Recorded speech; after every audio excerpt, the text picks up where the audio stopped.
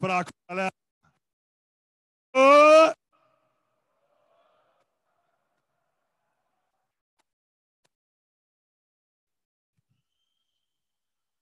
Quem está ansioso para a próxima palestra? Só, só isso? O resto que é só brinde. Ô! Pessoal, foram 16 livros. Ele é o responsável pelo Blockchain Research Institute. Vai falar sobre economia digital, sobre blockchain. Com vocês, ladies and gentlemen, Don Tapscott, o papa do blockchain no Brasil e no mundo.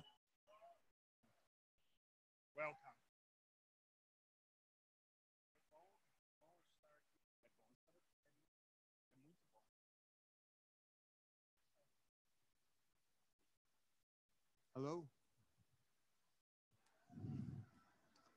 I don't need this.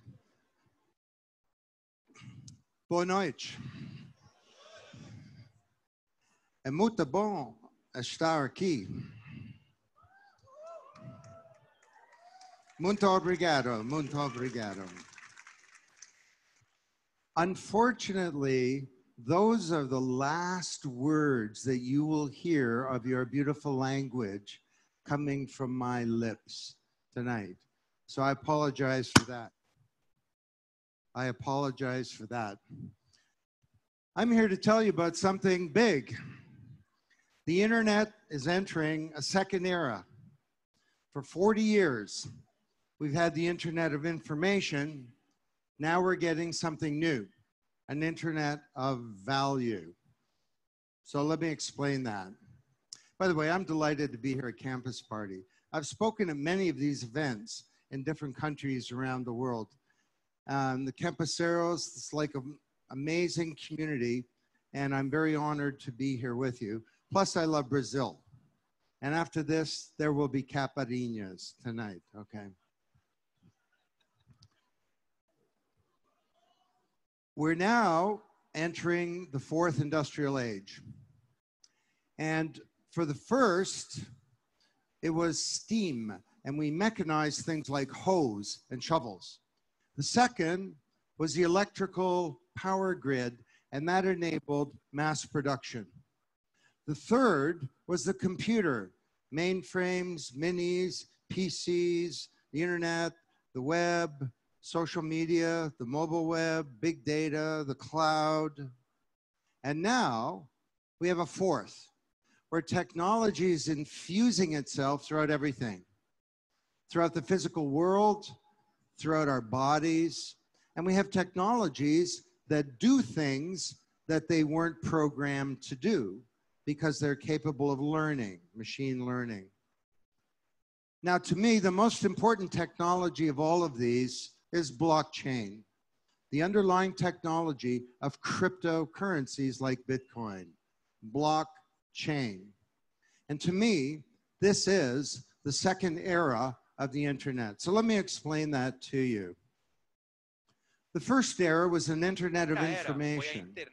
But when I send you some information, a PDF, a PowerPoint, an email, I'm actually sending you a copy. Even with a website, I keep the original. We've all had a printing press at our fingertips. And that works fine for information. But when it comes to things that really matter for the Brazilian economy, things of value, assets that belong to somebody, things like money, or stocks, or bonds, or loyalty points, ou pontos de fidelidade, propriedade intelectual, assets like ativos culturais como arte, música. vote, vote votes. O volt é um, é um ativo, é algo de valor que pertence a alguém. Energia elétrica, créditos de carbono, nossas identidades. Mandar uma cópia dessas coisas é uma péssima ideia. Ninguém quer alguém copiando a sua identidade, não é?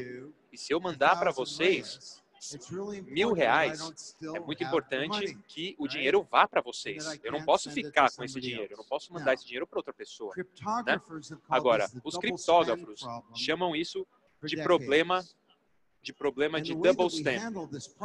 Como que a gente lida com esse problema através de um intermediário, né? Grandes intermediários. E eles fazem todas as transações e cuidam da lógica de todos os comércios.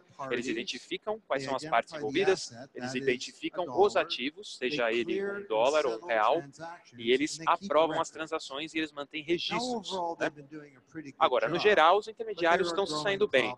Mas tem problemas cada vez maiores surgindo. Primeiro, todos eles são baseados em means tecnologias centrais, hacked. ou seja, eles podem ser hackeados. E todo mundo da JP Morgan até o Home Depot nos Estados uh, Unidos, até a, até a CIA descobriram que dá para ser hackeado, sim. Descobriram de jeito 2 billion difícil. E esses intermediários excluem 2 bilhões de pessoas da economia global. Esses caras, esses caras travam os processos. Leva um segundo para o meu e-mail chegar de Toronto até São Paulo, mas pode levar dias ou até mesmo semanas para os ativos digitais serem transferidos na bolsa de valores em Wall Street. Eles também cobram um dinheirão. Pensem nisso. Quando alguém na cidade de Toronto, no Canadá, um engenheiro que tem pais que moram no- em São Paulo, no Brasil, quando esse cara manda dinheiro para os pais, ele pode ser cobrado de 10 a 20%. Não sei se vocês já ouviram falar das- dessas cobranças que há entre fronteiras. Uma coisa absurda. E tem um grande problema. Eles capturam os nossos dados, vocês criam esses dados, né? Esse é o novo petróleo. Os dados são o, são o novo petróleo. Você cria, eles ficam com eles. E isso acabou criando as empresas mais ricas e poderosas do mundo. E o benefício da era digital está se tornando muito assimétrico. A gente tem uma riqueza crescente e uma prosperidade decrescente. A economia está crescendo, a classe média está diminuindo. E é isso que está acontecendo com Donald Trump, com o Brexit e com a polarização entre a esquerda, a direita, conservadores e liberais no mundo inteiro. Outro grande problema é que eles nem sempre se comportam com integridade. Vocês se lembram onde vocês estavam no dia 14 de setembro de 2008? Esse foi o dia, dois dias depois da Lehman Brothers ter falido e todo o sistema bancário dos Estados Unidos entrou em colapso. As, os caixas eletrônicos estavam sem dinheiro nos Estados Unidos. Eu me lembro onde eu estava. Eu estava dando uma palestra na convenção chamada Cybos, onde 9 mil bancários comparecem todos os anos. Isso na cidade de Viena, na Europa. E eu olhei lá para aquela plateia cheia de bancários, cheia de gente rica, e eu falei: vocês pisaram na bola. Vocês quase arruinaram o sistema capitalista global. E isso talvez venha abaixo, sim. E o problema principal era a integridade. Então tem muitos problemas com esses intermediários. Agora, vamos pensar o seguinte: e se e se não houvesse apenas uma internet de informação? E se houvesse uma internet de valor?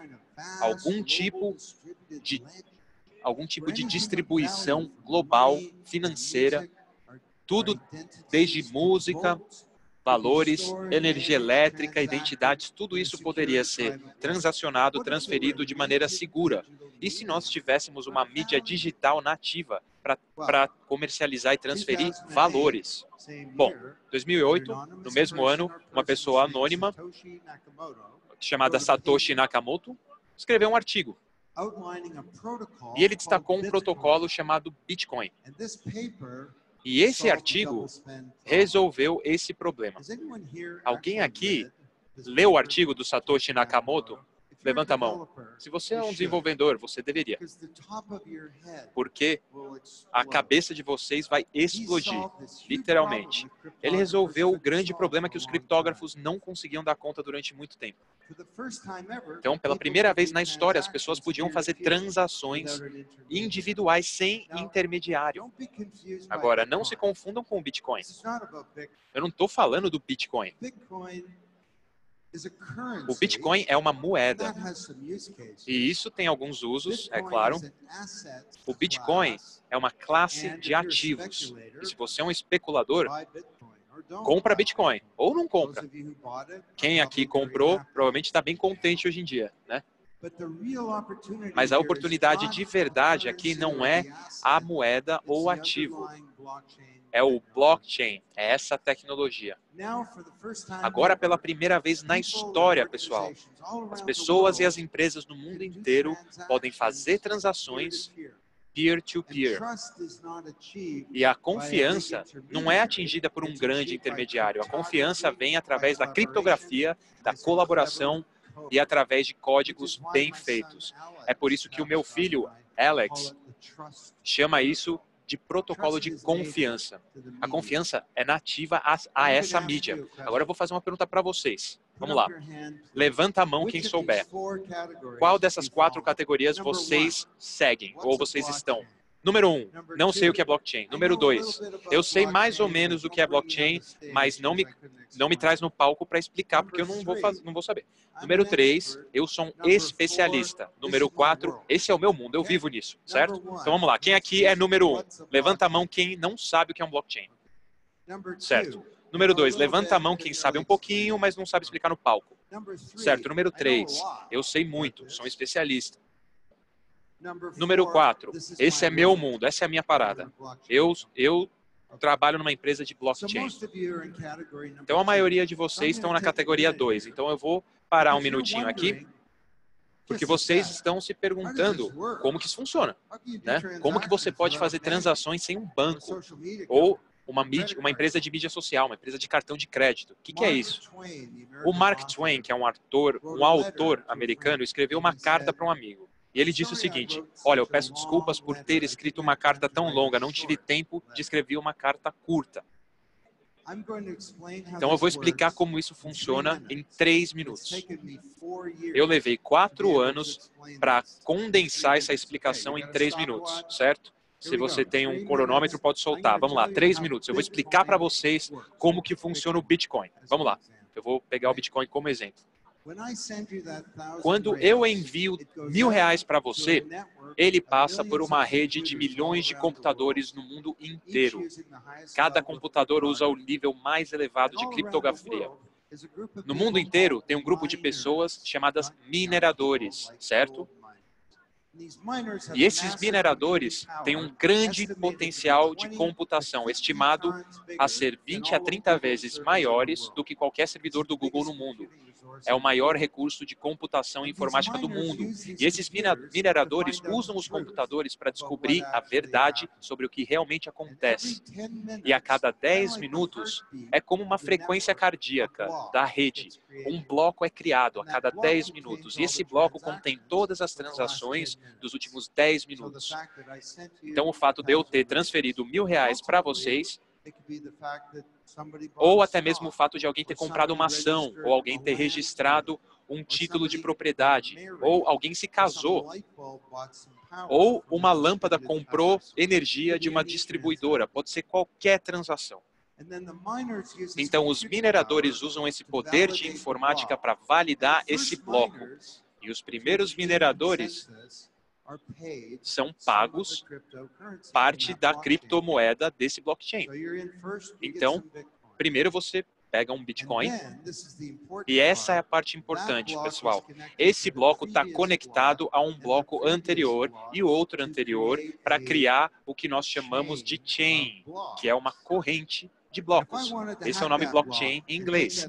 E se eu quiser pegar esses mil reais e mandar para você, e para você, para cometer fraude, se eu quiser fazer uma transferência dupla, eu teria que hackear esse bloco e o bloco anterior, o bloco anterior, toda a história do comércio do blockchain do Bitcoin, não só em um computador, mas em milhões de computadores no mundo inteiro. Todos eles com o nível mais alto de criptografia. E eu teria que fazer isso simultaneamente ao mesmo tempo em que o recurso de computador mais avançado do mundo está de olho em mim, para ver se eu não vou fazer nada ilegal. Eu não vou falar que é impossível hackear o blockchain, mas eu vou falar para vocês que é muito mais seguro do que os sistemas de computação que controlam o governo brasileiro, os grandes bancos do país também. Eu gosto de pensar da seguinte forma: o blockchain é uma coisa muito processual. É como se fosse um McNugget do McDonald's, certo? É algo que está muito processado, altamente processado. E hackear um nugget, pessoal, é como pegar o nugget do, do McDonald's e transformar ele de volta numa galinha. Vocês estão entendendo?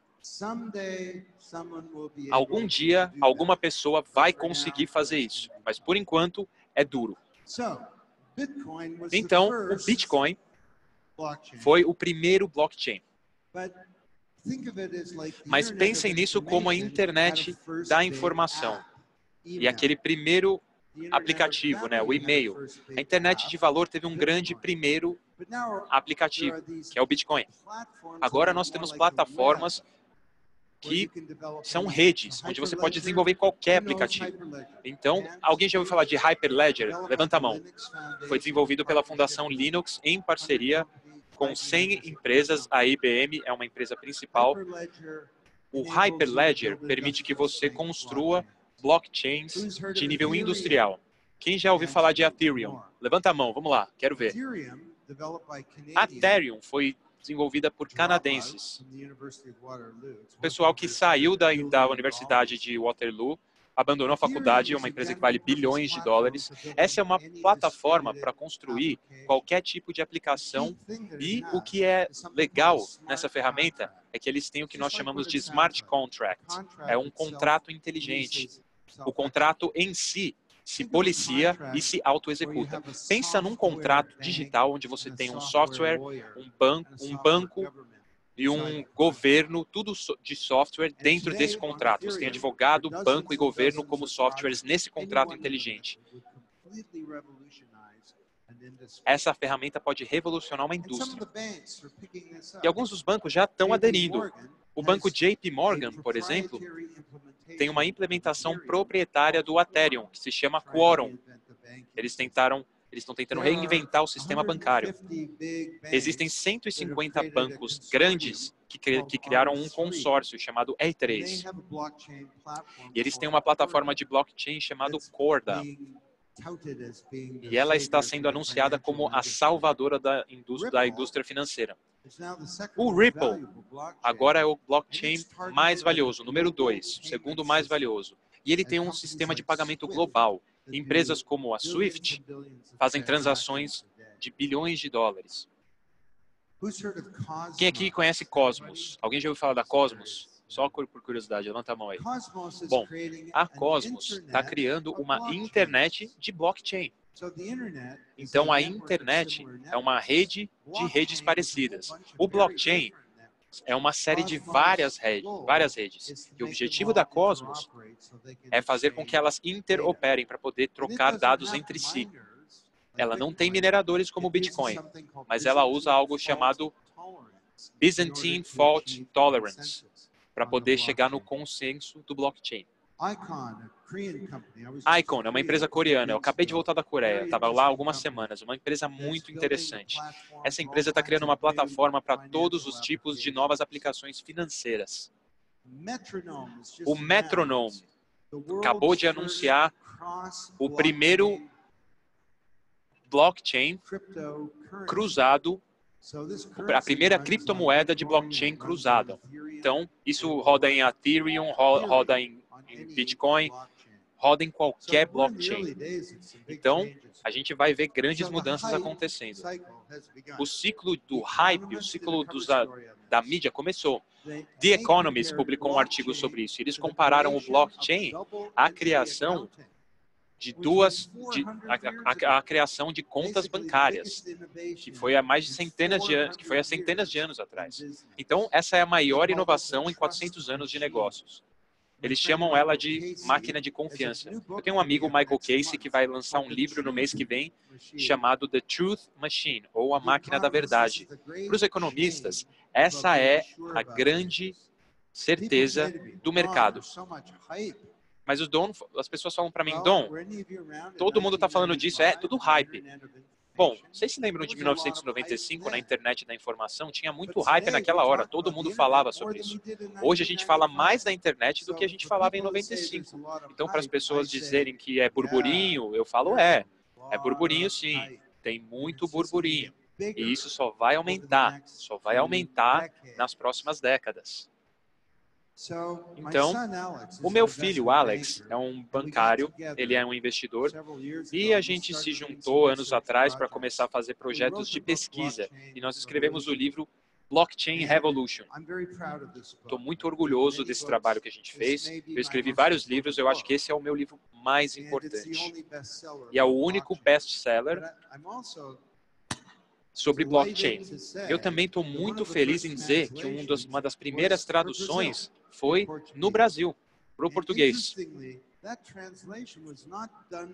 E, foi- e é interessante, essa tradução não foi feita por uma editora, não. Foi feita por um por um colecionador de 50 blockchain. Aliás, book. 50 pessoas traduziram esse livro. Tem um aqui, ó. O que quer que o- e sempre que vende algum livro, eles recebem um pouco de Bitcoin. Eles ganham um pouco de Bitcoin. Foi a coisa mais inovadora e criativa possível. Então eu espero que cada um de vocês comprem um milhão de cópias do meu livro. Por favor. Natal vai chegar logo mais, pessoal. Vocês têm amigos. Não, falando sério. Eu espero que vocês desfrutem do livro. Nós também lançamos o Instituto de Pesquisa chamado Blockchain Research Institute. E a gente está fazendo 75 projetos a respeito do impacto dessa tecnologia. Então eu vou começar falando por que vocês deveriam se importar com isso. O que isso quer dizer? Como é que isso vai mudar os negócios e a economia do Brasil? Eu sei que são 9 horas da noite e eu vou falar com você sobre economia durante dois minutos. Então, por favor, gente, vamos tentar não dormir. 80 anos atrás, tem um, econo um economista, Ronald Coase, que ganhou o prêmio Nobel, e ele fez uma pergunta bem simples. Ele falou, por que nós temos a corporação? Por que a firma existe? Se o Adam Smith estava certo e o mercado aberto é o melhor mecanismo para alocar bens e recursos e ativos e informação, por que todos não são com- é, profissionais autônomos? Por que todos não cuidam da sua produção? Por que todos trabalham para a empresa? E ele falou a resposta, E ele ganhou um prêmio Nobel por falar isso, hein? A resposta é o custo da transação. E ele falou sobre quatro custos diferentes. O primeiro é a busca. Imagina só, você está tentando encontrar as, as informações e as pessoas certas no mercado aberto para falar, para fazer alguma coisa. Toda vez que você fabrica um carro ou toda vez que você presta um serviço, isso daí não, a coisa não roda. Então a gente tá, a gente, a gente precisa, a gente agora tem arquivos para encontrar as informações e tem o custo de coordenação. Essas pessoas têm que trabalhar juntas, né? E terceiro, o custo de contratar. Se cada atividade requerer um contrato, a coisa não vai dar certo. E no final, o custo de estabelecer confiança. Então, você confia nas pessoas da empresa, né? Porque você conhece, você tem processos de negócio, você tem relatórios, estruturas, gestão. Então, a corporação da era industrial, que, que existe há mais de 100 anos, está verticalmente integrada, ou seja, ela faz de tudo. Né? O Henry Ford, dentro das barreiras lá da empresa da auto- automotiva, da Ford, ele era uma siderúrgica, ele era uma fábrica de vidro, ele era tudo. Por quê? Porque o custo de transação no mercado aberto são maiores do que o custo de produzir você mesmo. O blockchain vai devastar esses custos. Agora, o custo começou a diminuir no início da era da informação de tecnologia, tecnologia da informação. E as barreiras se tornaram mais volúveis. E a gente viu a internet da informação surgir. E as empresas se focaram mais no que elas fazem de melhor. Elas construíram parcerias e elas terceirizam o resto. Agora, com o blockchain, eu acho que nós estamos nos primeiros dias de uma arquitetura totalmente nova para as corporações. As, as estruturas profundas das firmas estão mudando. As empresas agora vão ficar mais com uma cara de rede, porque o custo de contratar vai ser devastado pelos pe- pequenos contratos, pelos smart contracts, pelos contratos inteligentes.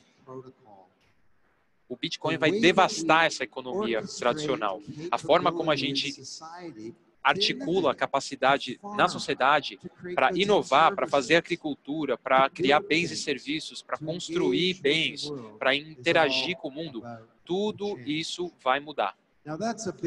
Agora, isso é uma afirmação ousada que eu estou falando daqui, né? Eu vou dar um exemplo para vocês. Aqui tem, eu tenho um diagrama que está no meu livro.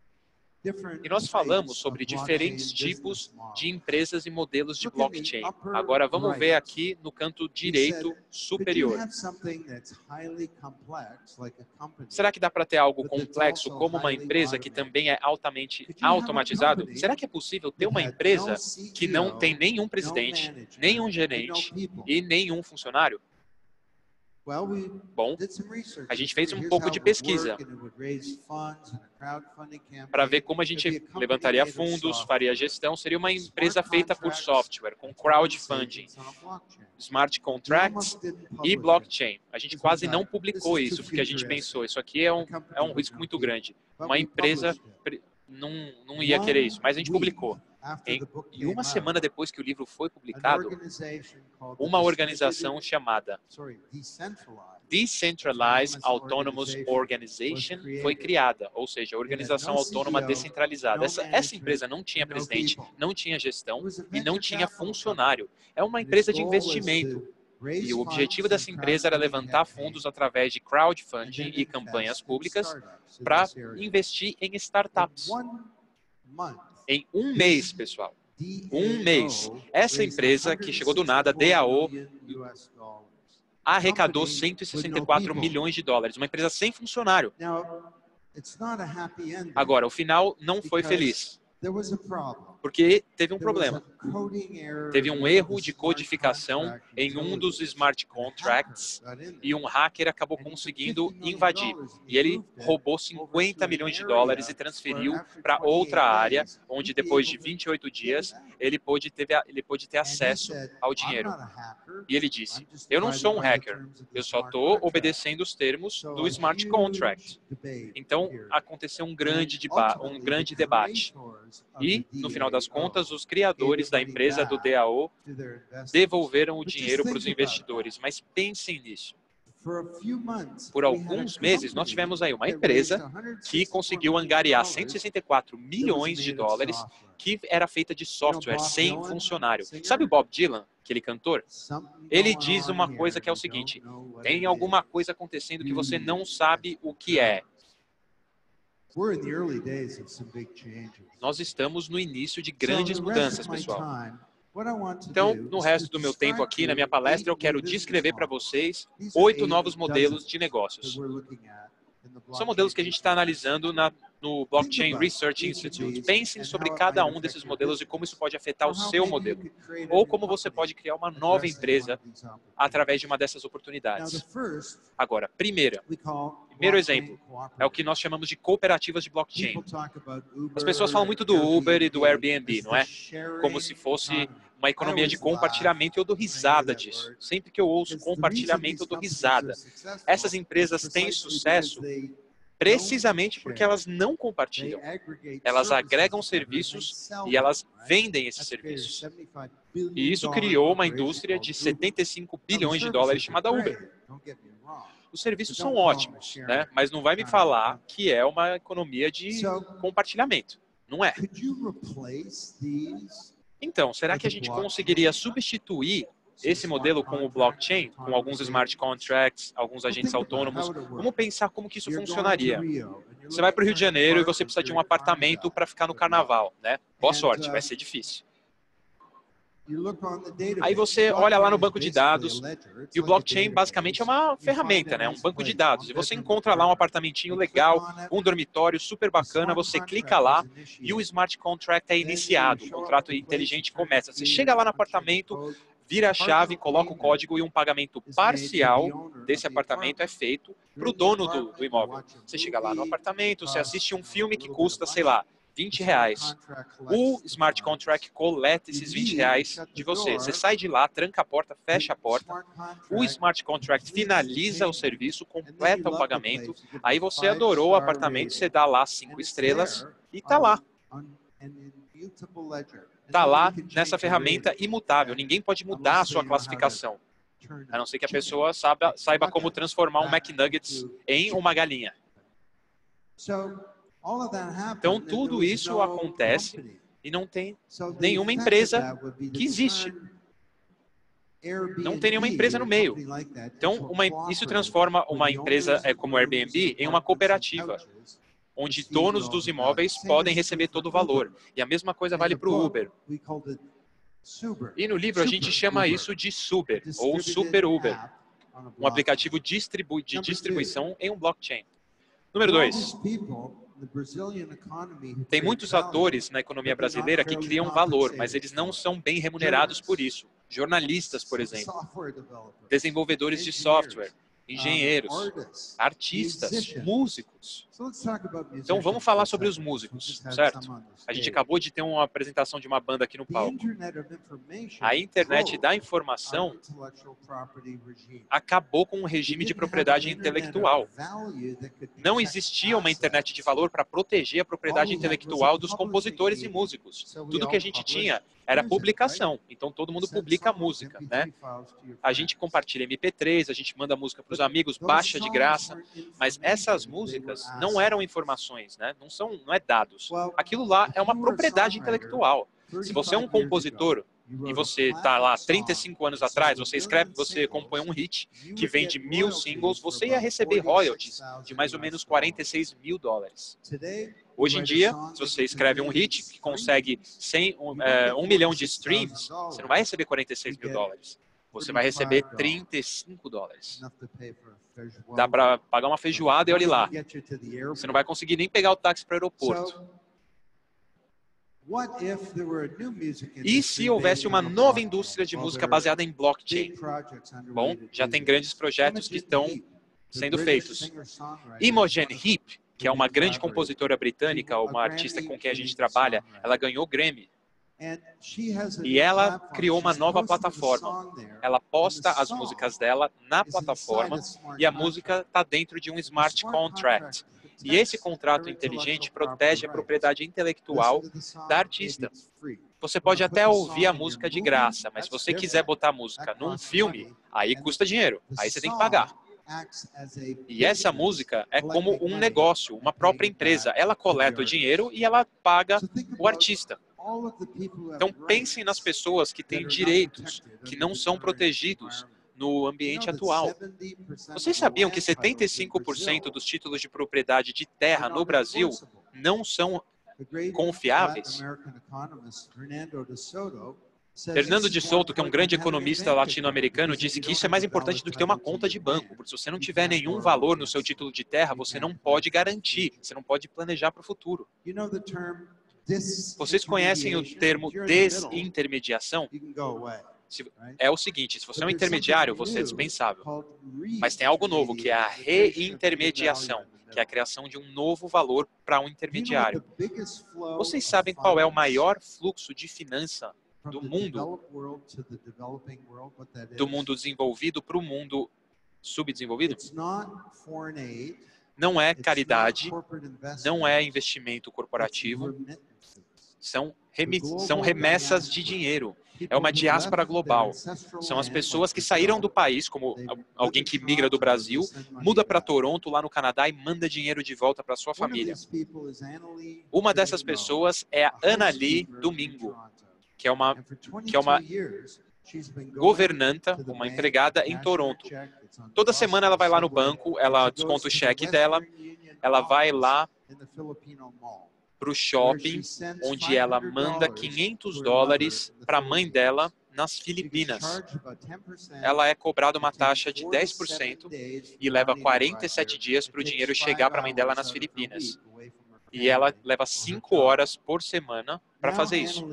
Agora, a Ana Lee usa uma ferramenta, não é essa daqui, essa daqui se chama Paycase, mas ela usa uma ferramenta que a permite enviar 500 dólares do celular dela diretamente para o celular da mãe. Não tem banco no meio, não tem nada.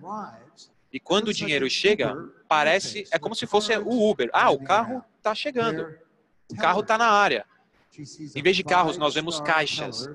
Caixas móveis. Ela vê lá alguém que tem cinco estrelas, ela clica no caixa, alguém, um cara chega na porta dela, bate na porta da mãe dela, dá 500 dólares em pesos filipinos na moeda local e ela enfia na bolsa. A transação custa minutos e só custa 1,5% de taxa. Nesse cenário, os bancos não são mais os intermediários. E a Paycase é uma empresa que está fazendo a reintermediação, criando novos valores. Número 4. Vocês sabiam que a indústria de Global Supply Chain vale 6 trilhões de dólares? Bom, essa questão da supply chain, da cadeia de fornecimento, vai passar a ser blockchain. Agora a gente tem algumas das maiores supply chains no mundo, como a Foxconn, que fabrica o iPhone, agora elas vão utilizar o blockchain para repensar a sua cadeia de fornecimento. A gente tem empresas como a Sweetbridge, que estão fazendo trabalhos extraordinários, onde você consegue monetizar sua própria supply chain e você pode emprestar dinheiro de você mesmo para poder pagar os seus fornecedores instantaneamente, em vez de ter que esperar 60 dias úteis. Isso é um de, de, muitos trabalhos que podem ser feitos. Transparência na indústria alimentícia. Isso é um grande problema. Se você tiver intoxicação alimentar por comer um pedaço de carne estragada que comprou no supermercado, você não, isso não tem procedência. Você não sabe o que aconteceu, de onde que veio essa carne. Agora o Walmart usa o blockchain para poder rastrear os alimentos. E você pode rastrear o alimento, aquele pedaço de carne, e você sabe qual que é o animal, de qual fazenda, o que, que ele se alimentou, quais antibióticos ele foi administrado, e você sabe até qual é a linhagem do animal. Isso é uma grande oportunidade. Nós temos diamantes. Sabe os diamantes de áreas de conflito na África que causam guerras e mortes? Centenas de milhares de pessoas morreram por conta dos diamantes de áreas de conflito. Esse problema é eliminado por empresas com blockchain como a Everledger. Elas rastreiam a propriedade dos diamantes e certificam a procedência desses diamantes. Número 5. O mundo físico está se tornando cada vez mais smart e interconectado. É a tal da internet das coisas, né? O meu hotel, o quarto de hotel que eu estou ficando, a porta tem um chip. E é um chip relativamente novo, então a porta provavelmente deve ter um endereço de IP. Uma vez roubaram uma câmera minha num hotel que eu estava ficando em Miami. E a porta sabia de mim, né? Sabia quem tinha entrado e saído do quarto. Nós encontramos um acesso não autorizado e identificamos o roubo. Eu tenho um amigo que mora em Toronto e tudo na casa dele, todos os eletrodomésticos, todos os eletrodomésticos têm endereço de IP todos eles se comunicam, os eletrodomésticos. Eu não sei o que, que a geladeira vai falar para a torradeira, mas aparentemente elas são amigas, elas são camaradas, elas conversam, ficam falando a noite inteira, ou fazem até outras coisas a noite inteira, não sei, vai saber. Mas ele falou, ele tem uma cerca em volta da casa, ele disse que a, que a cerca conversa com o sistema de irrigação que rega as plantas dele. Eu falei, para que isso, cara? E ele falou, Don, se um ladrão pular minha cerca, o sistema de irrigação é minha primeira linha de defesa e eu vou conseguir molhar aquele ladrão. Vai me defender. Então, quando uma lâmpada compra energia elétrica de uma distribuidora em São Paulo, na qual uma das fontes é o painel solar no teto, ela paga pela eletricidade. E por pagar, a reputação daquela lâmpada vai ficar mais forte. E isso não vai passar pela rede de cartões Visa. A internet das coisas é uma ferramenta, é um agregado de ferramentas. Então isso já está acontecendo. Tem uma empresa que chama Brooklyn Microgrid que está criando uma nova plataforma de blockchain para eletricidade e distribuição de energia. Número 6 construtores de plataformas. Essa máquina que vocês estão vendo aqui, essa geringonça maluca, tem um nome. Se chama Rube Goldberg, porque é o nome do inventor. O Rube Goldberg passou anos desenvolvendo essas máquinas super complicadas que fazem tarefas muito simples, tipo abrir um ovo ou abrir uma porta. Mas é uma coisa super complexa. E eu olho para isso, você sabe o que, que eu vejo? Eu vejo um, eu vejo um sistema complexo, como o sistema bancário. Não é verdade? Você está lá, você passa o seu cartão e você compra uma caipirinha no bar e várias mensagens são enviadas entre empresas diferentes e três dias depois acontece um pagamento. Bom, se tudo isso for baseado no blockchain, não haveria três dias de espera. Não tem esse, esse esse tempo, porque o pagamento é a mesma atividade do que essa interação. É só uma mudança na ferramenta. Então, os bancos também estão tendo dificuldade para poder construir novas plataformas para serviços financeiros. O que, que os bancos fazem? Isso aqui também é do meu livro, Blockchain Revolution. Os bancos autenticam o valor para ver que, se, se, que você é quem você é. Eles transferem o valor, eles fazem transferência de títulos, ações, dinheiro. Eles armazenam o valor e porque eles armazenam, eles podem emprestar o seu dinheiro. E eles também trocam valor, eles criam eles criam transações no mercado de ações, eles financiam e investem em valor. Capital de risco, fundos de hedge, é, invest, outros investimentos, e eles garantem o valor e gerenciam o risco. E eles prestam contas para auditores. Essa é a indústria, é isso que o banco faz. Cada um desses processos pode ser substituído por smart contracts e agentes autônomos no blockchain. Então, os bancos estão trabalhando duro para entender o que a gente está fazendo aqui. Então, pensem nos investidores bancários. No livro, nós falamos que o capital de investimento vai ser desafiado pelo crowdfunding e em cinco anos isso não vai ser mais reconhecido. A gente estava errado. O capital de investimento já é irreconhecível. Esse ano, mais dinheiro foi arrecadado em ICOs, que são as Initial Coin Offerings, do, do que qualquer capital de investimento no mundo. A gente está falando de 3 bilhões de dólares. Quem aqui sabe o que é ICO, Initial Coin Offering? Levanta a mão. Se você é uma empresa pequena, você não precisa mais fazer capital de investimento. Você pode levantar financiamento com crowdfunding, com campanhas. Até o Gilbert sabe disso. Vocês sabem o Gilbert? Conhecem ele? Olha ele falando aqui. Talvez a gente deva fazer uma ICO, Initial Coin Offering. O gerente do banco fala, que isso? O Gilbert fala, ah, é um processo, é um processo financeiro para levantar fundos que utiliza uma criptomoeda e um blockchain. Aí o gerente do banco fala: Ah, então é como se fosse uma corrente feita de moedas e o Gilbert desiste. Mas quando o Gilbert está falando do negócio, aí você sabe que o negócio vai longe. Bom, eu vou voltar aqui. Essa empresa aqui, ó, uh, é uma empresa que é baseada aqui em São Paulo. Se chama Swap. Alguém conhece Swap? Levanta a mão. É uma empresa de uh, crowdfunding para dívida. Então as pessoas conseguem acesso a empréstimos que não, conseguiria, não conseguiriam no, normalmente. Então digam para o governo de vocês para não pisar na bola com essa história. A China e a Coreia, eles baniram as ICOs. Isso é um erro terrível. Eu chamo isso de erro da bandeira vermelha e eu vou explicar por quê. 100 anos atrás, na Inglaterra, o automóvel estava começando a aparecer nas ruas, eram só carruagens.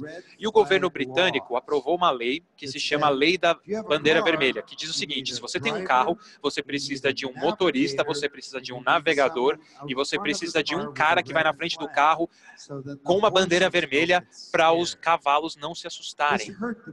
Isso isso prejudicou muito a indústria automotiva britânica, uma coisa ridícula. E hoje, a China e a Coreia estão prejudicando o desenvolvimento da sua própria inovação e da sua própria economia.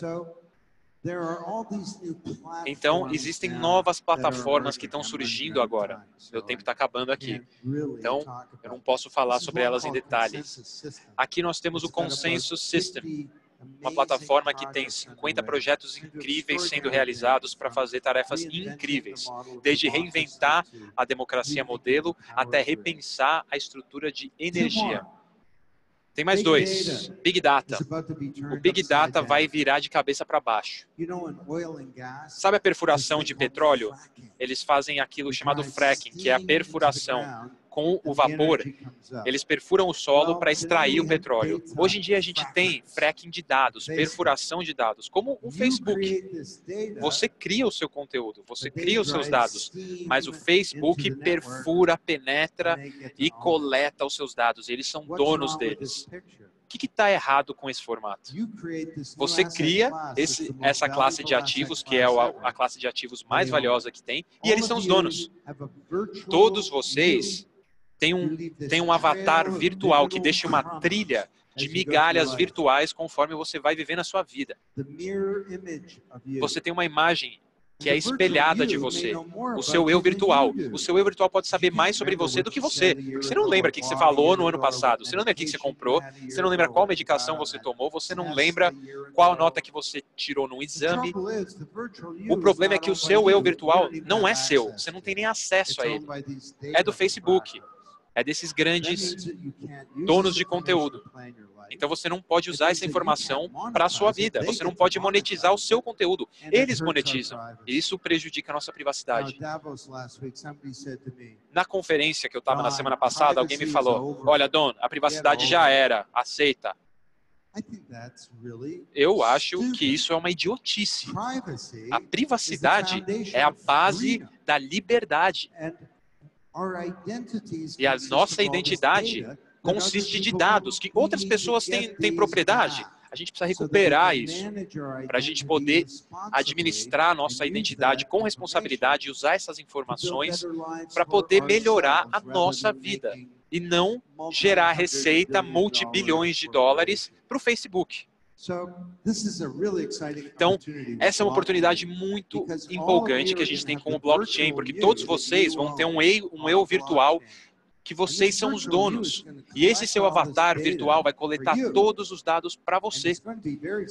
E vai ser ele vai ser muito bom de vaca. Se você vender alguma coisa para mim, você nem precisa saber quem eu sou. Você só precisa saber que você vai receber o seu dinheiro. Finalmente, o setor público. As grandes oportunidades de transformar o governo para melhor. O governo de Dubai quer ser o primeiro governo de blockchain do mundo. O governo da Estônia criou uma dessas identidades digitais. E temos oportunidades de resolver problemas. A empresa Veridian atualmente está trabalhando em parceria com uma empresa que eu fundei, chamada CarbonX.ca.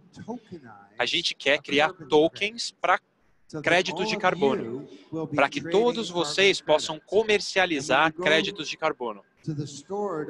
Você pode ir numa loja para comprar, sei lá, um cortador de grama, uma, uma torradeira, e você vai ver que tem duas torradeiras. Tem uma que é neutra em carbono, que vem com tokens, e tem, outro, e tem a normal. Aí você vai comprar a neutra em carbono. A gente pode mudar o comportamento de bilhões de pessoas, dando a elas incentivos econômicos para serem mais verdes e amigáveis ao meio ambiente. A gente precisa disso, porque a gente precisa mobilizar o planeta para poder resolver esse problema. O planeta já foi mobilizado antes, duas vezes, no último século, com duas grandes guerras.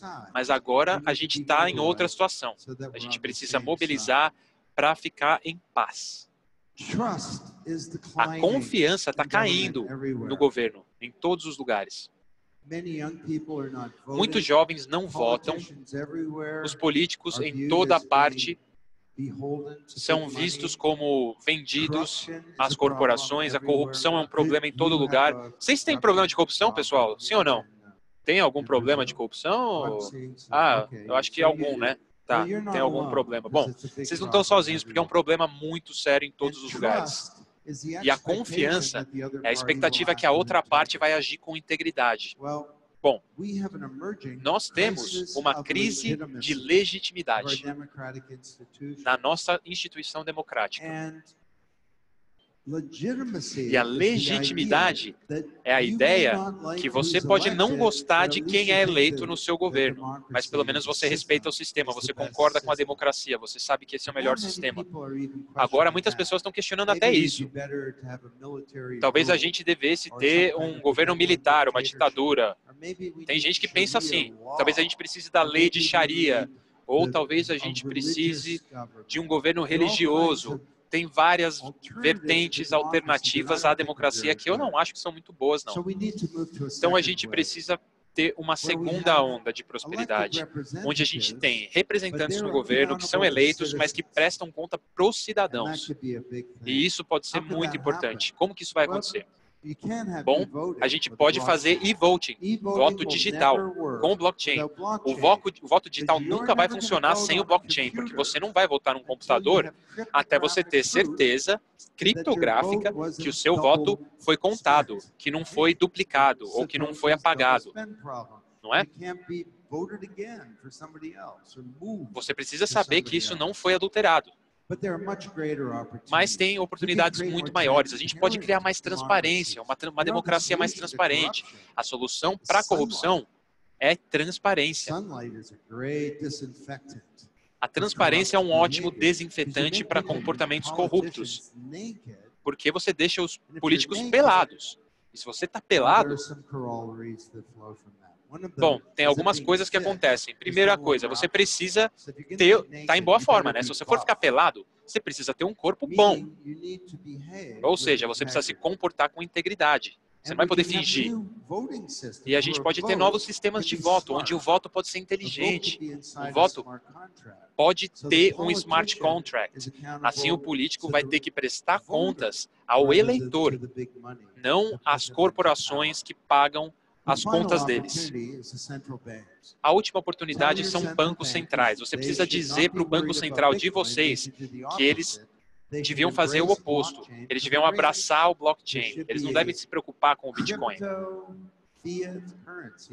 Ele deve haver criptomoedas no Brasil. Isso vai ser muito bom. Isso vai ser muito bom. Então, nós temos três grandes oportunidades: mudança no governo, mudança na democracia e mudança na forma como nós administramos o dinheiro na nossa economia. Muito obrigado, pessoal. São nove horas agora. Vocês tiveram muita paciência, então agradeço. Só um segundo, eu não acabei ainda.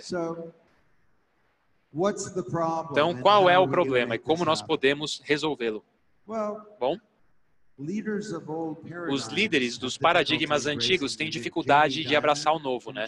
Tem o Jamie Dimon, da JP Morgan, CEO. Ele disse que ah, o Bitcoin era uma fraude. Isso me lembra. De outras falas de outras pessoas. Não tem motivo para um indivíduo ter computador em casa, disse o chefe da segunda maior empresa de 30 computação do mundo 30 anos atrás.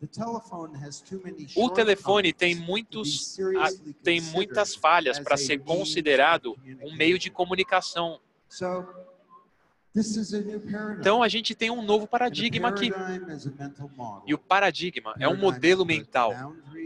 O paradigma cria barreiras no nosso pensamento, eles restringem as nossas ações. E muitas vezes são baseados em premissas que são tão fortes que a gente nem reconhece que elas estão lá.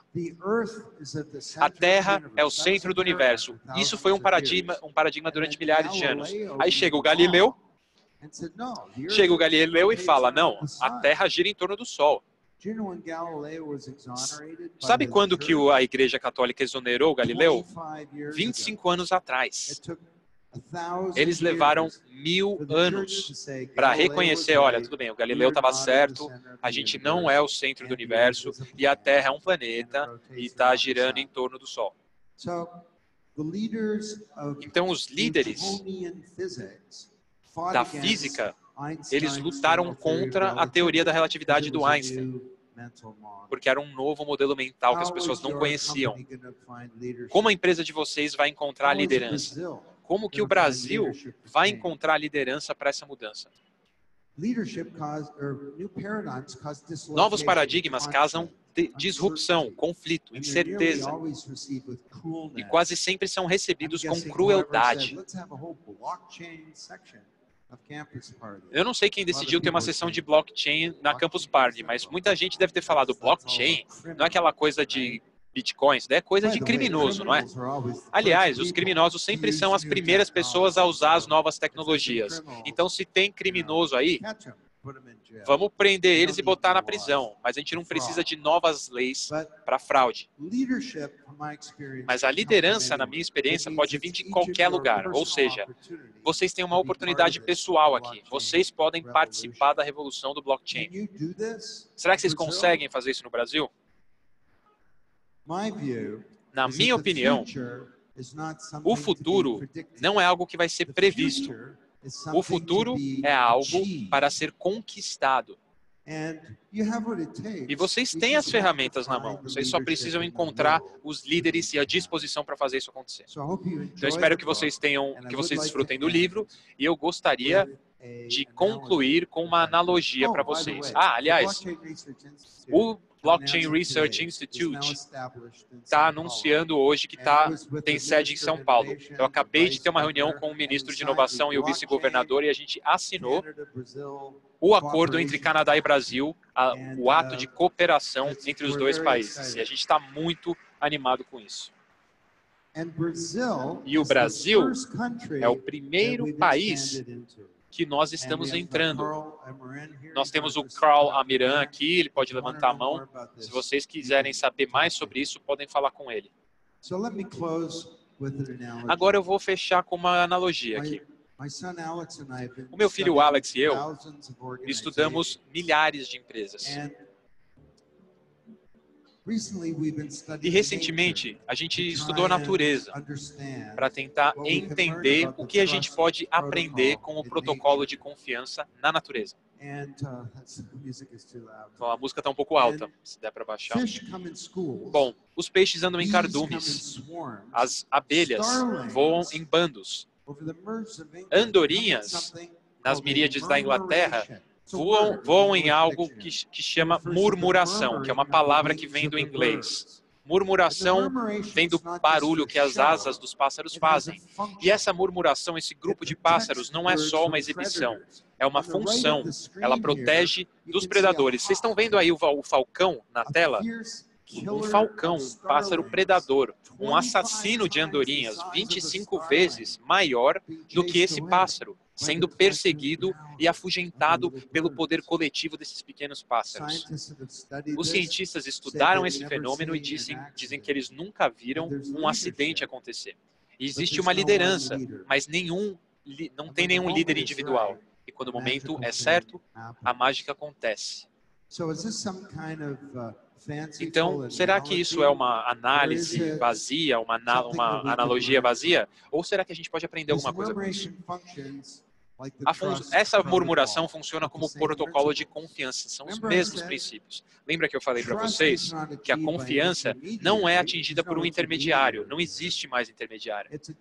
Agora a confiança é conquistada através da colaboração e através da criptografia e através de códigos bem feitos. Tem códigos no DNA, do, no DNA dos pássaros. E o código dá a eles regras.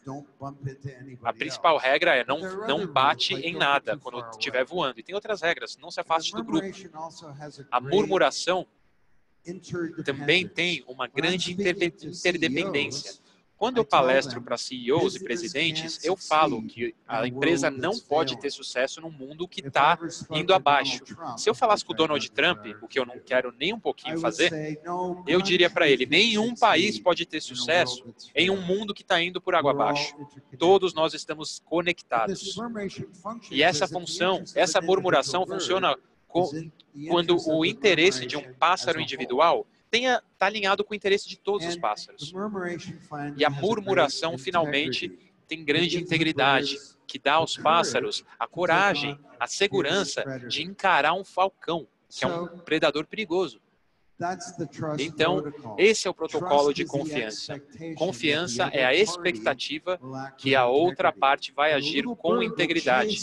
E um pequeno pássaro pode, pode afugentar um predador 25 vezes maior, porque ele sabe que os outros pássaros vão fazer a coisa certa e apoiar. Será que a gente pode se conectar nesse planeta com uma certa rede, com algum tipo de rede de criptografia, classe, software, smart contracts, agentes autônomos, que pode nos permitir confiar mais uns nos outros? Bom, se a gente puder fazer isso, talvez esse mundo que os nossos filhos vão herdar pode ser um nível, pode ser um mundo mais distribuído, melhor. E talvez essa nova era de confiança distribuída possa ser uma era onde a promessa da economia digital se torne finalmente uma realidade. Vamos fazer isso, pessoal, né? Vocês conseguem. Muito obrigado.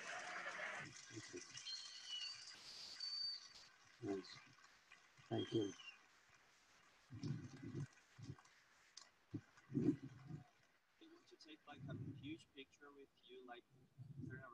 Okay. Okay. This way? Okay, you have to put up your hands and clap, okay?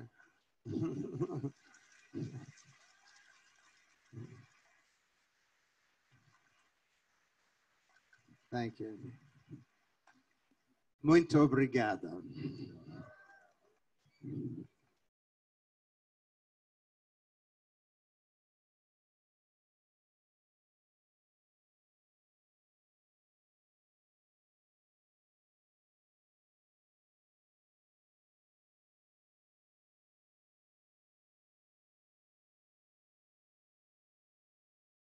Boa noite. Boa noite, gente. Infelizmente, nós não vamos poder é, fazer a sessão de fotos com o Dom. Eu peço, a gente pede desculpa. Ok? Muito obrigada.